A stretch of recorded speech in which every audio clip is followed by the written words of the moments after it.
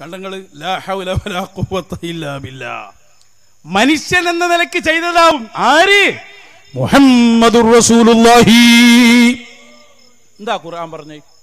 എന്താ അത് അങ്ങൾ ഖുർആനെ നിഷേധിച്ചത്. ഹവാ.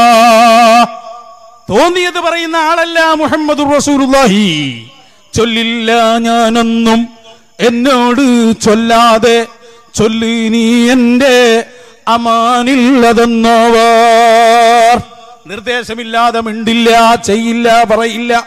മുഹമ്മദുർ റസൂൽ